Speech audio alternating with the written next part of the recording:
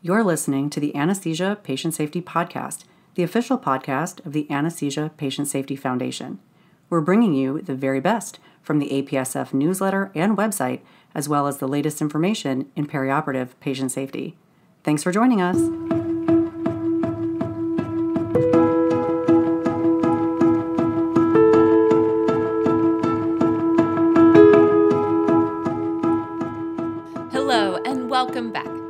Anesthesia Patient Safety Podcast. My name is Alli Bechtel, and I'm your host. Thank you for joining us for another show. We are going to talk about an important part of keeping patients safe during anesthesia care, and that is keeping the anesthesia professionals safe. A real threat to the health and safety of anesthesia professionals is second victim syndrome. But before we dive into the episode today, You've heard me recognize our corporate supporters on this show, but there's another supporter who is absolutely essential you. Every individual donation matters so much. Please visit apsf.org and click on the Our Donors heading and consider making a tax deductible donation to the APSF. Now, this is a challenging and critical topic related to anesthesia patient care. Our featured article today is from the October 2021 APSF newsletter called Primum Non Nocere But What Happens Next by Stephanie Davidson. To follow along with us, head over to apsf.org and click on the newsletter heading. Fifth one down is Newsletter Archives. Then scroll down and click on the October 2021 newsletter. From here, you will scroll past several articles that will look familiar because we have talked about them recently on the podcast, and then click on our featured article today. I will include a link in the show notes as well. We have exclusive content from the author, and I'm going to let her introduce herself now. Hi, my name is Stephanie Davidson, and I'm the Director of Quality for the HCA GME residency in Las Vegas, Nevada. To kick off the show today, I asked Davidson what got her interested in this topic. Let's take a listen to what she had to say. The topic of second victim syndrome, or SVS, is an emotion or feeling I've experienced throughout my medical career that I did not understand or even know how to identify. It was thrust upon me 1,000 fold during the mass casualty shooting of 1 October in Las Vegas. I found myself struggling to leave the hospital in the days that did follow. I could not separate myself from the event. My nights were peppered with dreams of showing up late to help those in need. As debriefing set in, I found I struggled with those that were not present during the critical hours and seemed to just move on seamlessly. Simple comments such as, It's so busy here today, you can't even imagine, I took personally and left me feeling that I hadn't contributed. As time moved forward, I was part of many critical debriefs from the local level to being part of the ASPR TRACIE webinar. It wasn't until my pediatric surgeon husband and I were asked to speak at various trauma conferences where SVS was included as a separate talk that I began to heal and understand the importance of the topic. Thank you to Davidson for sharing such a personal story and insight. It's now time to get into the article. Davidson starts off the article with her personal experience with second victim syndrome, or SVS, that stemmed from being in charge of the operating rooms that took care of over 200 trauma patients on October 1st, 2017, during the Las Vegas mass casualty event. One of the biggest takeaways from this event and other patient related adverse events is that for the anesthesia professional and other members of the healthcare team, when the event ends, it may not be over. Davidson shares that this was certainly true for her following this event. I will read her statement now. The imprint this event left on me is indelible, and every time I tell my story, the anxiety it produces gives way to a sense of healing after an emotional and psychological wrestling match. Now, let's take a closer look at the history of second victim syndrome. It was first described by Albert Wu in 2000 and then further defined by Scott and colleagues in 2009. It is the state of mind of a healthcare provider whose patient has experienced an unanticipated adverse event, medical error, or care related injury. The patient is the first victim, and the healthcare provider involved in the unanticipated adverse event, medical error, or care related injury is the second victim. Second victims can be further identified since they are likely traumatized by the event and may take personal responsibility for the event and patient outcome. Second victims may have feelings of failing to take good care of the patient, as well as questioning their clinical skills and knowledge base. It is critical to recognize SVS since the psychological trauma that occurs following an unanticipated adverse event and the related negative patient outcomes leads to another victim from the event, the second victim, the healthcare professional. Now, for a closer look at some of the literature on second victim syndrome. Have you experienced this? It is common, with almost 80% of healthcare providers being involved in an adverse event or near miss, combined with an emotional impact following the event at least once over the course of their careers. Additional studies have reported the prevalence of SVS to be about 10.4 to 43.3% of providers following a traumatic experience. Another important consideration is patient safety related to system failures or provider related. Patient safety incidents occur in about one out of every seven hospitalized patients, and this may include near miss events, adverse events, and medical errors leading to worse outcomes, patient harm, and death. There is definitely work to be done to improve patient safety in the hospital. When patient safety incidents occur, members of the healthcare team have an increased risk for developing post traumatic stress disorder. What does second victim syndrome look like for the healthcare professional? The reactions are varied and individualized and may be emotional, cognitive, and behavioral, with far ranging impacts to future patients, colleagues, families, and personally. Second victims may even believe that they are not deserving of being a second victim related to their perceived lack of contribution during a critical event.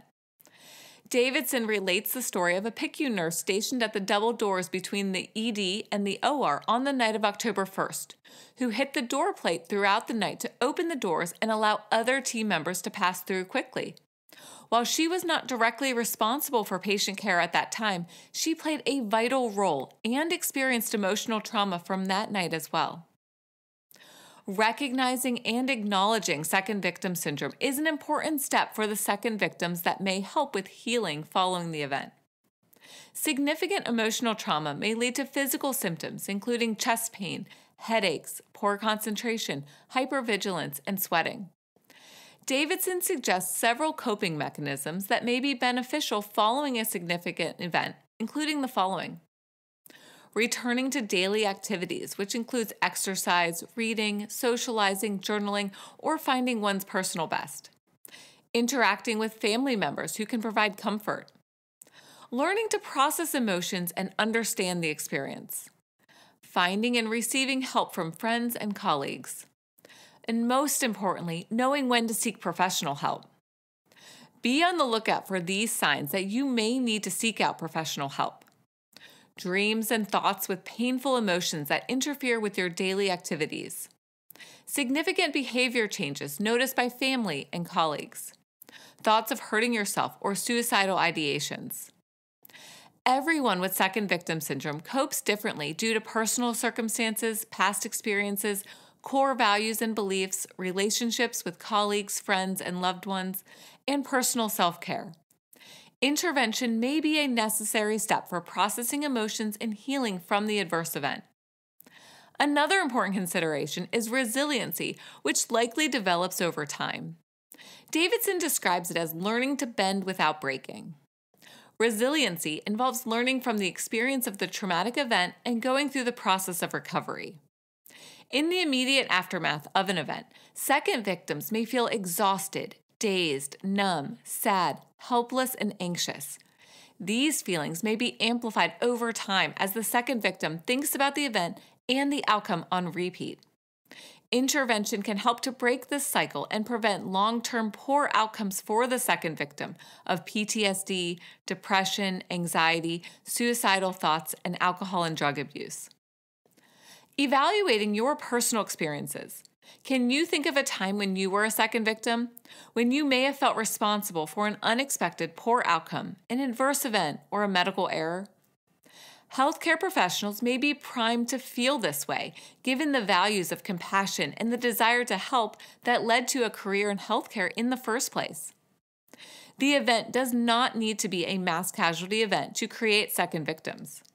It may be as simple as missing an IV placement, or something that affects an individual patient, such as missing a STEMI, or any experience where healthcare professionals provided care to the best of their ability and knowledge, but there was an adverse event or poor outcome or medical error. Following this, personal protective coping mechanisms may kick in to help process the event and move towards recovery.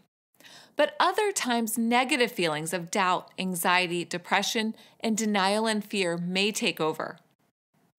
Questions that second victims ask themselves include the following Does everyone know what happened? Will these feelings ever pass? Will my reputation be irreversibly affected? Let's take a closer look at the literature related to SVS.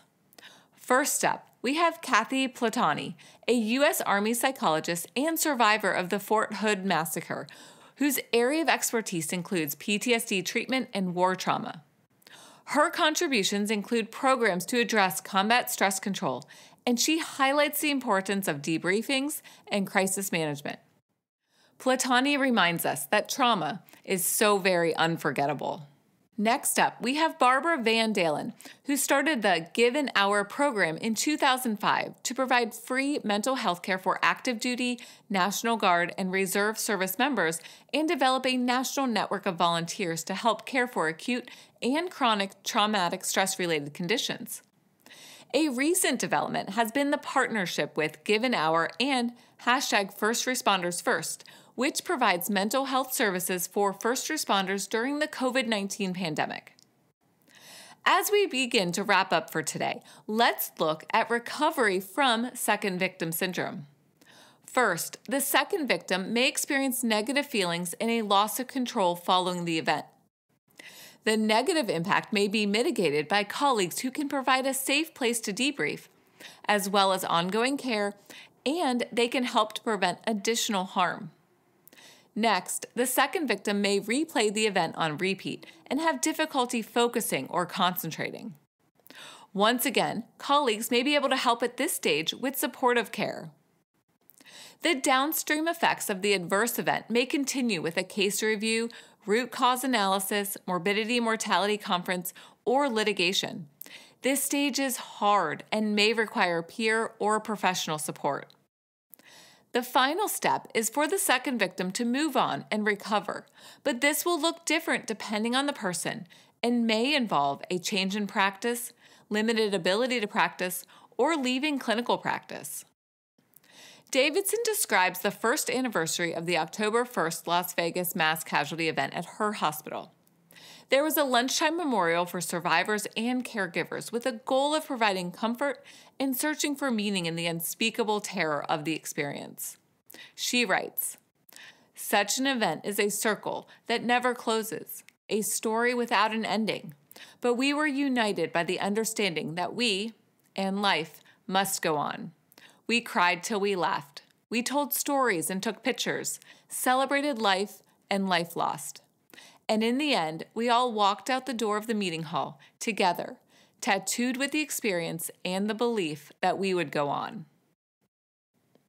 Second victim syndrome is an important consideration for all healthcare professionals interested in anesthesia patient safety, since the demands on anesthesia professionals related to patient needs, practice demands, the hospital system, family requirements, and satisfaction scores are immense and can lead to burnout and it is leading to burnout with higher rates in healthcare compared to any other industry. There is a call to action for anesthesia professionals to be aware of second victim syndrome, to recognize it, and to work towards treatment and recovery. We are going to hear from Davidson again. I asked her, What do you hope to see going forward? And what do you envision for the future related to second victim syndrome?